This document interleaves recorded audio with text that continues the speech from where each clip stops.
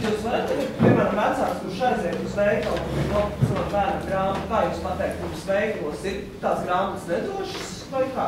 Kāda ir tā situācija? Salīdzinot Šaubas ir radītas. Nu, teiksim, cilvēki, kas tagad šodien Protams. grāmatnīcu, nu, mums ir drošāks grāmatas kā Eiropā. Reku, tu jau cels ārā, cels ārā. Nav, tas ir ka tas ir nav pārliecības par to, ka viņas ir drošas. Tas ir šaubas. jūs bet neredzat risku, risku, ka bērni nav bez grāmatām. Šo risku jūs neredzat.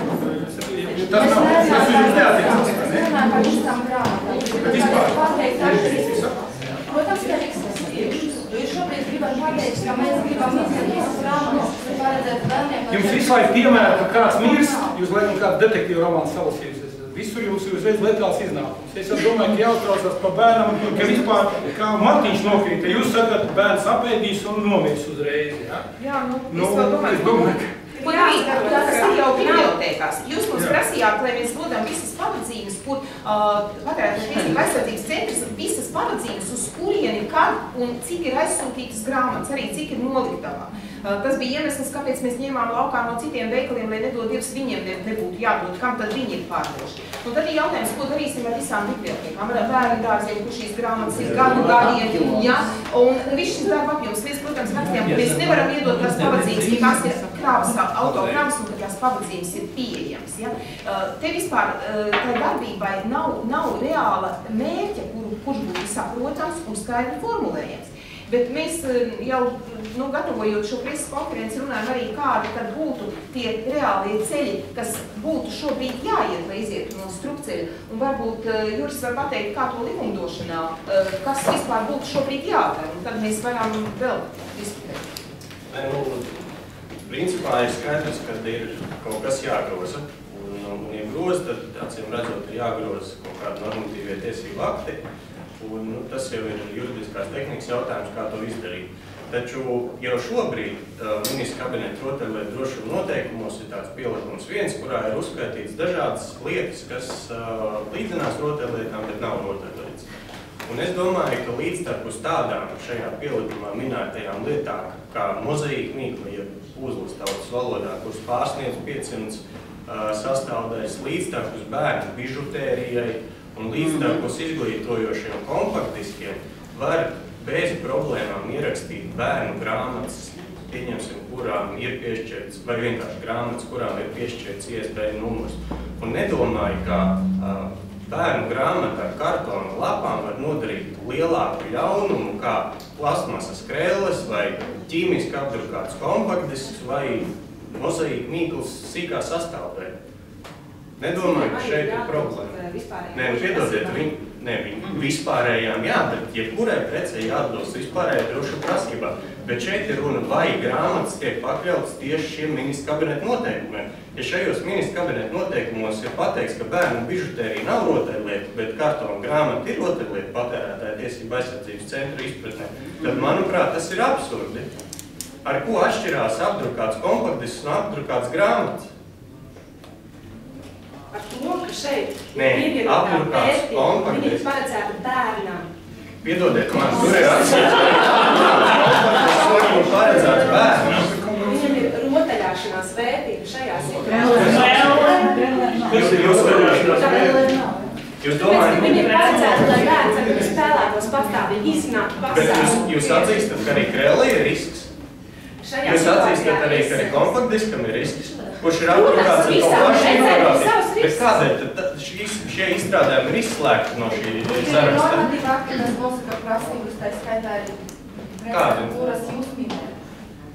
Jā, Direktīva par vispār preču drošumu. Jā, bet, bet kāpēc mēs nevaram attiecināt vispārējās preču drošuma prasības uz grāmatām? Nevienam jau nav strīds par to, ka tagad uh, Latvijas grāmatu izdevēji izdos skaitīgas grāmatas, ja kurā gadījumā uh, izdevējiem saglabājas atbildības pienākums. Par to nav strīda. Bet ja viņš- Strīds ir tagad par to, ka jūs gribat, lai katrai grāmatai tiktu sagatavota dokumentācija, lai katrai grāmatai būtu uzrakstīts ražotāja adrese un tā tālāk. Mēs negribam, lai katrai grāmatai. Mēs Bērnu grāmatai. Un ne bērnu grāmatai. Jo bērnu grāmatas var ir tikai tās grāmatas, kuras ir paredzētas ar tā skaitā arī spēlēt. Bet definējot, tā nav. Kas tas ir? Katrs dialogs. Šobrīd labā ziņa, ka nav diktāts, ir dialogs. Tā jau. Tas labā ziņa, bija diktāts, bet tad būs dialogs. Dialogu mēs gājām ļoti sen. Kā pie mums atnāk uh, uzņēmēju, uh, pārstāv uzņēmēju intereses juristi, kas juristi, kas faktiski parasti nepārzina tik detalizēti konkrētu uzņēmēju, ko viņš no kā pasūta, ko viņš pats, kur maketus taisa un tā tālāk. Tāds ir gatavs sēsties pie galda un runāt, jo mēs tāpat, ka jūs Esmu pārliecināta, ka jūs arī negribētu, lai tirgu būtu kaut kādas preces, tā skaita grāmatas, uz kurām attiecās uh, rotaļlietu noteikumi, ka viņi radītu risku bērniem, jo mums visiem ir Mēs bērni. nezinām, uz kurām attiecas rotaļlietu drošību noteikumi. Tas ir tā problēma. Mēs nezinām, uz ko attiecas, un arī jūs nezināt. Jūs katrs uzskatāt savādāk. Lūk, mēs tā tad nezinām, kura ir šī, uz kuru attiecas, un kura ir tā, uz kuru neattiecas. Mēs neražojam nevienu kaitīgu grāmatu. Visas tās ir Eiropā esošas grāmatas. Nevienā mūsu tipogrāfijā nav neviena kaitīga krāsa un nekāda kaitīga papīra. Mēs strādājam Eiropā un visi materiāli sen ir certificēti. Tas, ko jūs gribat, lai mēs uzminām, kam mums ir jāgatavo tehniskā dokumentācija, kam mums ir jāpasūta testi. Starp citu, šī te, par, ja mēs par Krieviju runājam, šī grāmata atbilst visiem tātad kostiem, kas absolūti tātad nav spēkā šeit.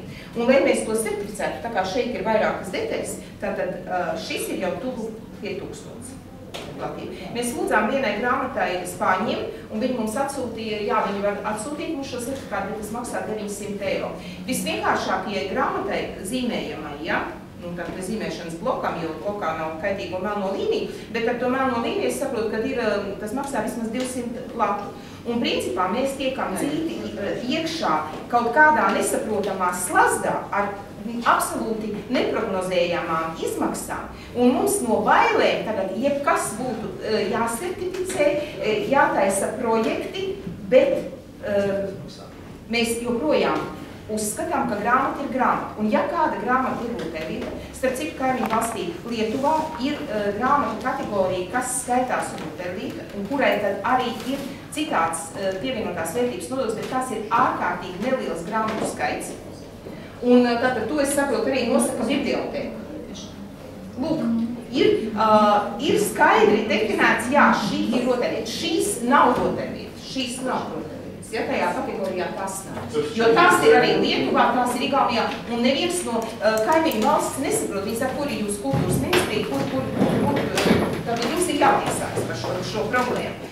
Nu, un uh, tātad uh, jūras valodas ierosināja, ka uh, ir tātad jāved vaļā, ja, šis šie te... Nē, nu kāpēc noteikumi ir līdztekus bērnu bižutērijas, domāju, droši varbūt bērnu grāmatas vai vienkārši grāmatas var ietēt. Tur ir ne tikai bērnu bižutērija, bet arī bērnu kosmētika, kas vispār, manuprāt, tiešām nemaz nav tā labākā. Un, un, un vēl ir, ir ļoti nepatālt, man kolēģi iedeva šo te zinu, ko tu teici, ja? Tātad šeit ir neskaitāmas pārtikas piedevs, kuras lietu arī bērnu pārtikā, un kuras ir daudzās valstīs aizliegtas. Latvijā, kā mēs zinām, neviena no e-vielām nekur nav aizliegta, tāpēc, ka mūsu institūcijas pie tā nestrādā. Mums ir apritē bērnu pārtikā e-vielas, kuras nav Skandināvijā, kuras nav tepat Eiropas valstīs. Tātad šis viss var, to var ēst, ar to var indēties un zaudēt reproduktīvās spējas, bet lūk grāmatās gan nekonstatētas, bet noteikti varētu būt, un mums ir jāpārliecinās Iespējams, ka šeit ir reproduktīvās spējas apdraudošas īpašības.